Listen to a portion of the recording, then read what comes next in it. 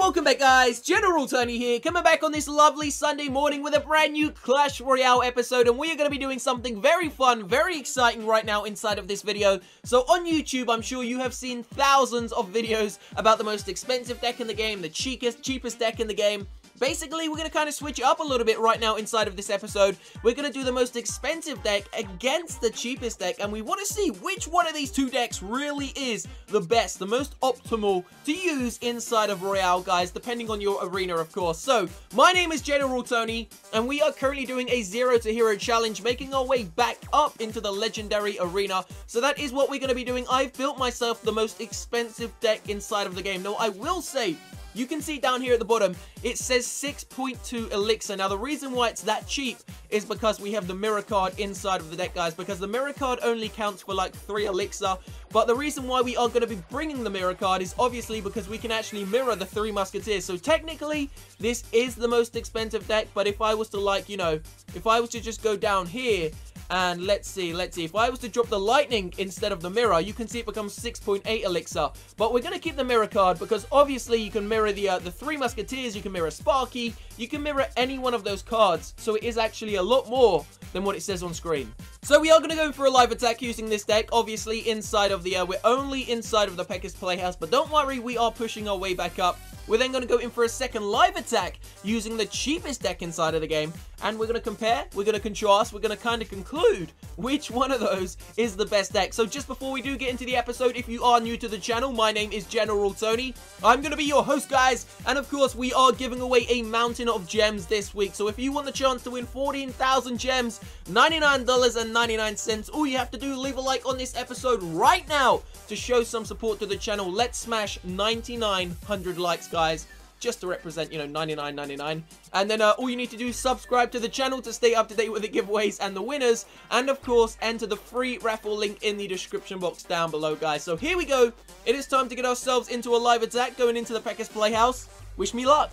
So just before I do forget also, oh, we're actually inside of the Spell Valley. Interesting. So I want you guys to go down below in that comment section. Every single one of you will take five seconds of your time. Let me know which deck is going to be the cheapest. Which one really is going to work better. So let's just take out that Prince. So we're going to uh, we're going to drop the Pekka in there. That's going to one-shot, hopefully, or close to one-shot it. That's okay. So I want to know from you guys, which one is going to be the best? Which is going to be best? If you think the most expensive, then comment hashtag most expensive. If you think the cheapest, then comment hashtag cheapest. Let me know which one of these decks is going to do the best inside of the actual, uh, the two raids we are about to do live in front of you. So to be honest with you, I made a little bit of a mistake there. We, we got some damage done to our tower, but I'm not really too bothered, guys. We're going to use the giant skeleton there as a distraction. Now, I am definitely in a bit of trouble here because I've wasted so much elixir at the start using the Pekka to defend, and then I drop down the Sparky on the right-hand side. It looks like we are going to be losing one of the towers, but it's cool. I'm not really bothered about it, guys. I know I'm going to get the victory no matter what, so here we go. Well, I hope I get the victory anyway. I kind of suck, but we'll see what happens. So the Royal Giant's going to be dropped in on the left-hand side. He's going to defend against that using about 7 or 8 Elixir, which was not the smartest move to do, because he's actually going to lose the Bomb Tower, and we're going to maybe one shot off. Yes, we got one shot off, so it's really not too bad. Here we go, three Musketeer time. As soon as they connect onto the Prince, it's game over for the Prince. There we go. And we still got the three Musketeers up and standing. This is definitely my most favorite card inside of the game, and he fireballs them. Damn, okay, so now I know he's got the fireball.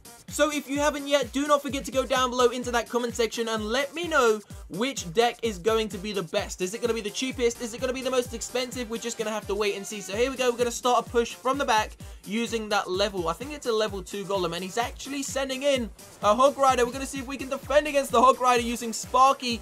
But it looks like he's going to take it down, guys. Don't worry, as I said, I'm not too, I'm not really too worried about it.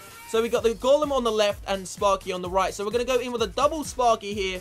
He's not going to be able to defend against this. The Golem is going to be an absolute tank here. Let's see what happens. So here we go. We're going to drop... Oh, oh, we're going to drop in a Pekka as well. Let's just go for one big push on his tower. Let's see if we can go straight for the crown tower using this push here on the left-hand side. So we're also going to drop in the three musketeers. The Golemites are on the tower over there. And the Sparky is still up and alive. It's going to be a Royal Giant as well once the Pekka arrives. We're going to hold back the Royal Giant until we take down the tower. There we go. Royal Giant goes down now as well. So we got the Golemites. We got the Royal Giant. We got another Sparky coming in from the back. This guy, it's game over. It is game over. There is no way he's surviving. The Peck is doing some damage. Sparky's about to unleash hell. There we go, guys. Wow. Okay, so that was quick. That was quick. I'm going to hand it to this expensive deck.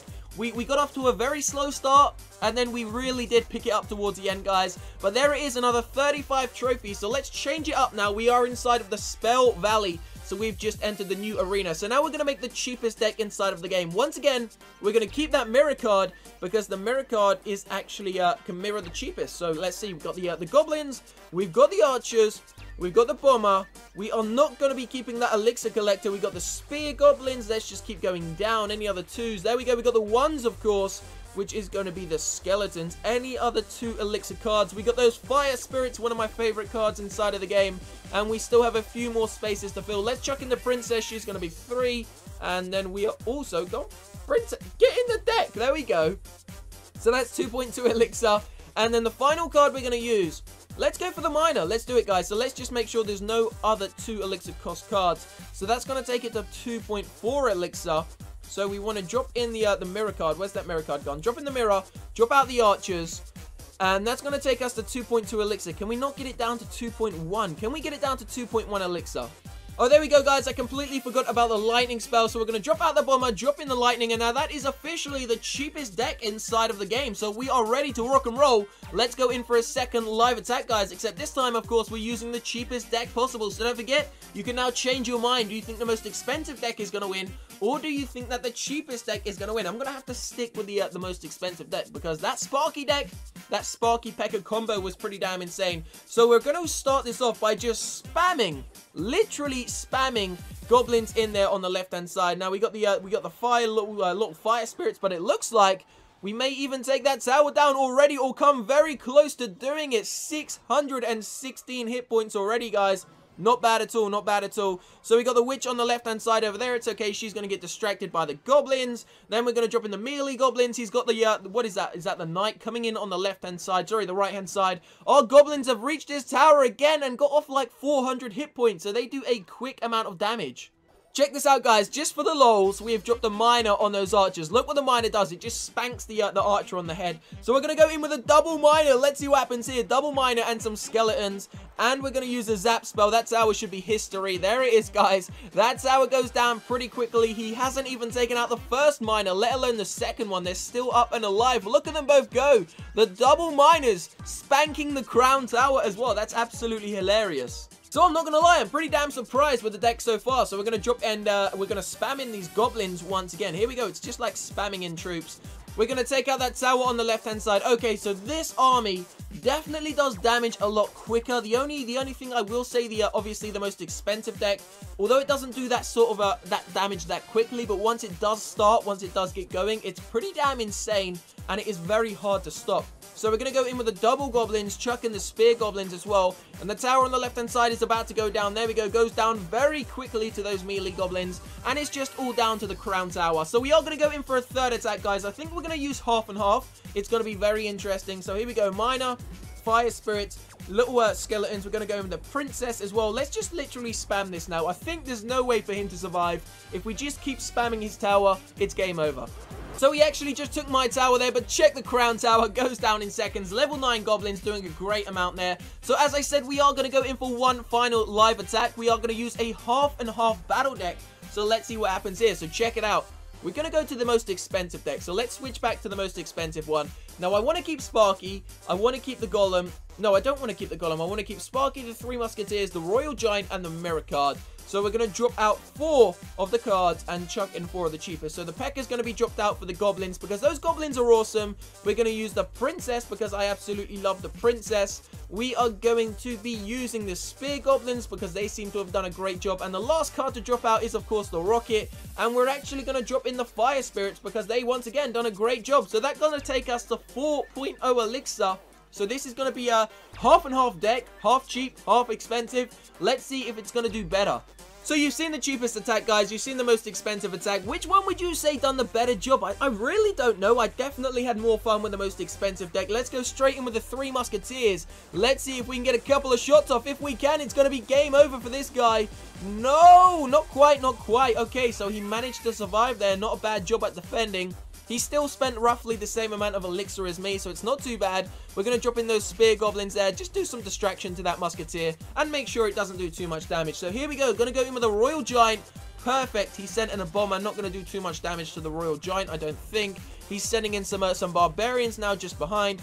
We're going to go in with a princess, do a little bit of splash damage, and of course, we also have those fire spirits. So here we go, guys. Fire spirit's going to absolutely wipe out those barbarians in seconds. Literally seconds. We got the spear goblins, sorry, the melee goblins to take out the hog riders, but he chucked in the arrow card. Smart move, smart move, I'm not going to lie. Pretty impressive, but here we go. We got Sparky coming up in our, uh, our future cards, guys. So we will be able to drop a Sparky very shortly, and we've already taken his tower down to at 900 hit points. Going to get one more shot off. Can we get another one? Nope, not quite, but 748 HP. So he's got his musketeer down on the, uh, the, the right-hand side there. We're going to do a little bit of a play here. We're going to drop down three musketeers on the right. And we're actually going to go in with a distraction, the Sparky on the left-hand side. If we can build up the elixir in time. Look at that. Okay, that was a sly move. Okay, so he's got me.